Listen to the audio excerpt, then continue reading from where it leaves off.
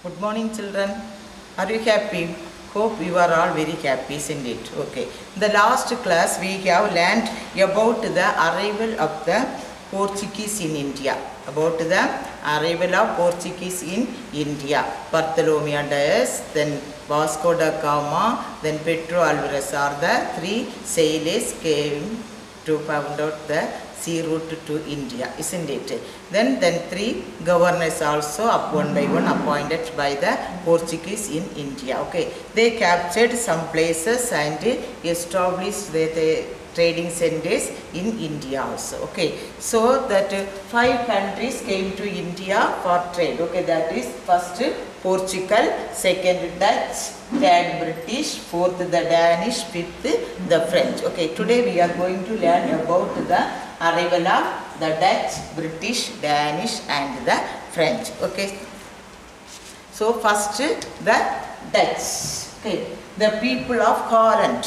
The people of Holland are called as the Dutch. Okay, for the Dutch followed by the Portuguese, they came to India in the year 1602. The year is very very important. Okay, so the Dutch, the people of Holland, they followed the Port- by the Portuguese and they came to India the in the 1602. Okay, the Dutch, okay, the people of Holland, they found their first factory at Masulipattanam. They found or established their first factory at Masulipattanam. Where is Masulipattanam? That is in Andhra Pradesh. Where is Masulipatnam? In Andhra Pradesh. Okay. Then after that, the Dutch established their settlement at Pulicat. Where is Pulicat? Near Chennai. Okay. They established their settlement near Pulicat. That is Chennai, near Chennai. Diamond. Diamond was exported from Pulicat to western countries. Okay, that they used uh, that Pulicat this to export that diamond. Okay, they exported diamond from that Pulicat to western countries. Then they captured the Dutch. First they established their settlement at Masulipattanam. Second Pulicat. Now that they captured Amboina and Nagapattinam from the Portuguese. First Portuguese came to India and they captured some places, isn't it? Now from the Portuguese, the Dutch captured two places, Amboina and Nagapattinam. Okay, from the Portuguese. Here they established its supremacy in southern India who established its supremacy in southern India now the Dutch. Okay, so at first Pulicat was the capital of the Dutch. Now they shifted it to Nagapattinam. First Pulicat was the capital of the Dutch. Now they shifted it to Nagapattinam. Okay, the most important Indian commodities. Commodities meaning things traded by the Dutch were the silk, cotton, indigo, opium, rice. What are the important commodities traded by the Dutch in India? Silk, cotton, indigo, opium. Do you know about that indigo? What is indigo? It is used in dyeing. Okay, it is blue in color. It is prepared from a plant. That is indigo. They used for dyeing purpose. Okay. Then here, next rice, opium. Opium means also it is prepared from a poppy plant. Okay. So these are the important commodities traded from India by the Dutch. What are the commodities? Silk, cotton, indigo, opium, rice. So diamond also they exported, isn't it? So the important factories in India were Masulipattinam, Amboina, Nagapattinam, Pulicat, Surat, Sinsura, Kasimbazar, Patna and Cochin. These are the important factories established by the Dutch in India. Well, these are the places they established their settlement and the factories. What are the places? Masulipattinam, Amboina, Nagapattinam, Pulicat, Surat, Sinsura, Kasimbazar, Patna and Cochin. Okay. So now they, after this much places they captured, isn't it? To extend their settlement. But now after the arrival of the British, when British came to India, what happened? The Dutch lost their settlement one by one to the British. They lost their settlement one by one to the British. Okay, this much only about the British, the about the Dutch. Okay, so the Dutch came to India in the year 1600 to then important their settlement. Okay, establish their settlement uh, factories in these places. Then the important commodities are silk, cotton, rice, indigo, opium. Okay, sent from the Pulicat. There they exported what? Diamond to the western countries. After the arrival of the British, they lost their settlement one by one in the hand of the British. Okay, now British. That on 31st December 1600 that came to India 1602 okay but uh, here that uh, British okay they came to India December 31st 1600 AD Elizabeth who was Elizabeth the queen of England Elizabeth the queen of England gave permission to the company to the East India company to trade with India who gave the permission Queen Elizabeth, the Queen of England. She gave permission to the East India Company to trade with India in which year? 1600 AD. Okay. The company was headed by a governor and 24, the members of 24 directors. One governor and 24 directors. So totally 25 members are headed in the company. Okay. So the company was headed by a governor and 24 directors. Okay. Here that is captain Hawkins Hawkins so when they reached to India captain Hawkins he visited Jahangir. Who was Jahangir? Are you remember? The Mughal emperor. He who visited Jahangir the Mughal emperor? Hawkins the captain.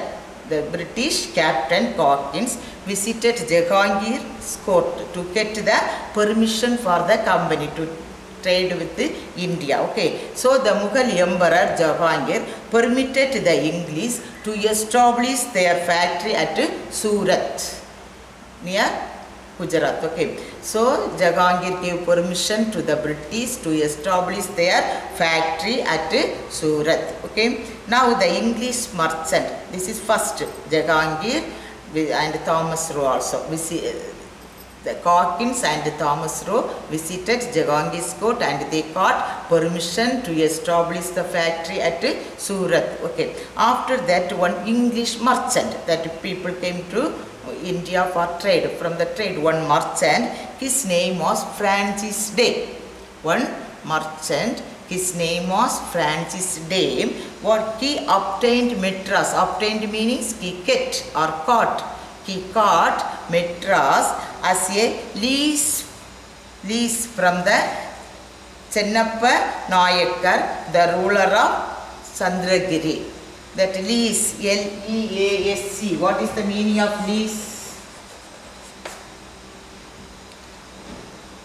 That lease means contract or that uh, let out for rent for one year, five year, ten years, three years like that. Okay, not monthly, year base. That is they give for rent. Okay, that is contract.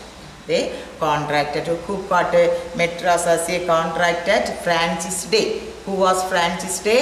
He was a one merchant. Okay, he got that Madras from whom? From the Chinnappa Nayak, that Nayak's rule, isn't it? That time Chinnappa Nayak's got that Madras, uh, Madras as a lease. Lease means contract. Okay, that it is let to for rent. Okay, so first they got the Surat.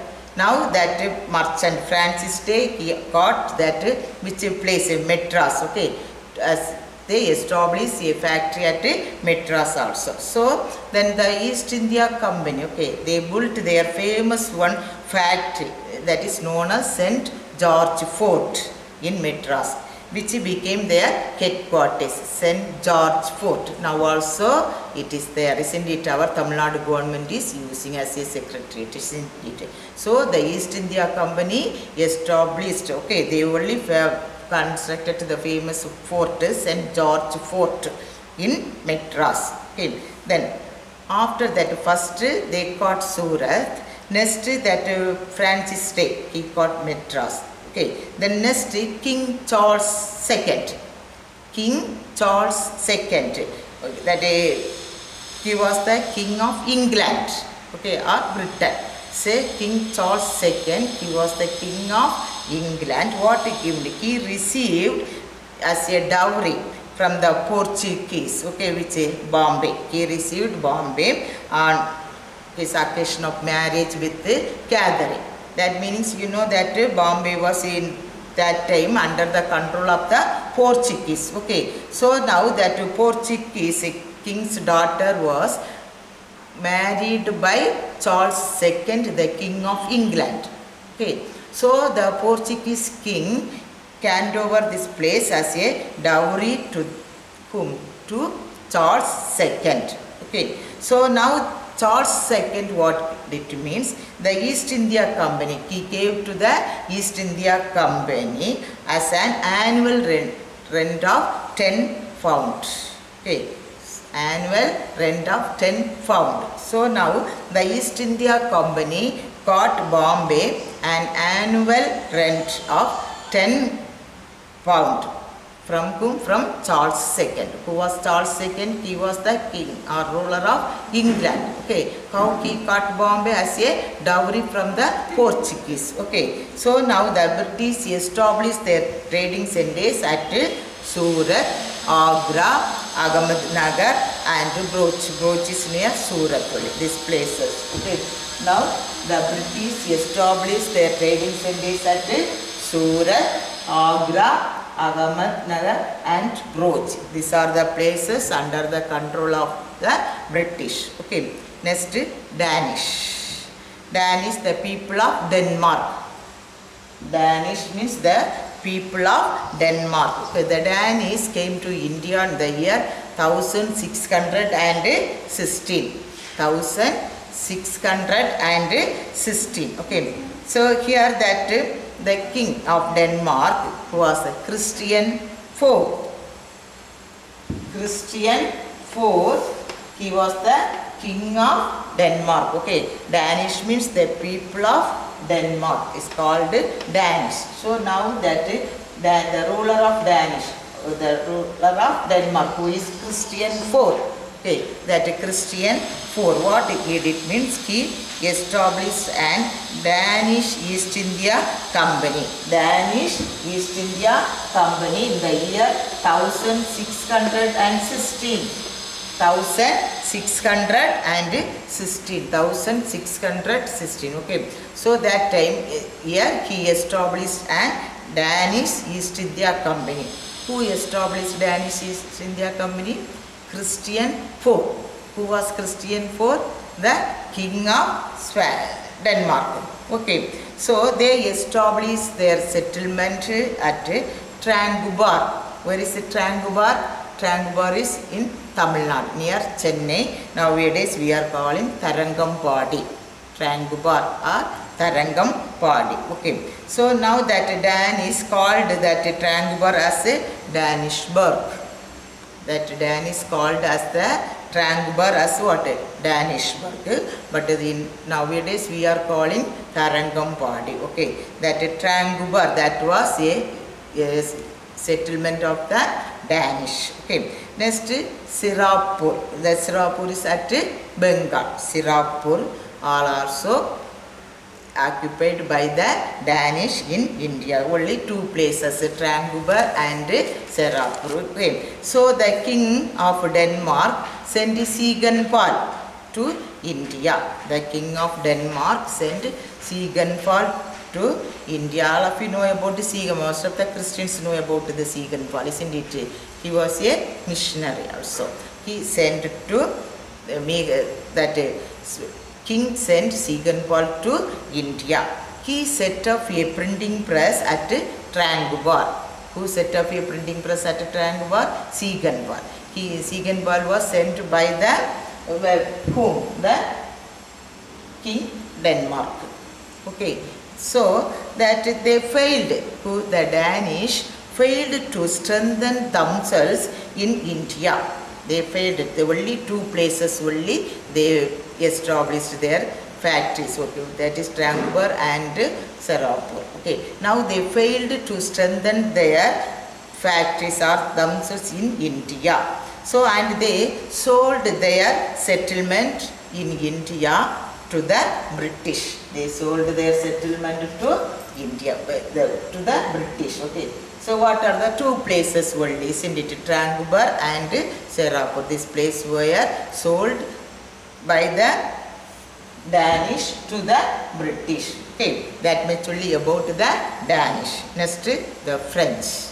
Among these five European countries, the France was the last European country came to India. France was the last European country came to India.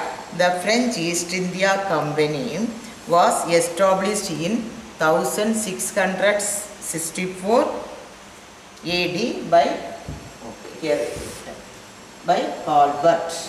The French East India Company was established in 1664 AD by Colbert. Who was Colbert? He was the minister of Louis XIV, the king. King Louis XIV, his minister was Colbert. He only established the French East India Company. They established their factories at Pondicherry, Mahe, Karaikal, Balasore, Kasim Bazar. So, what say the name of the places where that the French established their company or factory that Pondicherry, Mahe, Karaikal, Balasore, Kasim Bazar. Okay.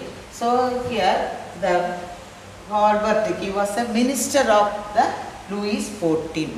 Louis XIV was the king, okay, of the French.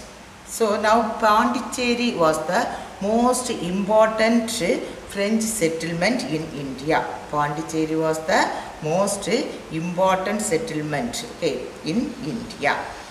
They built Fort St. Louis in Pondicherry.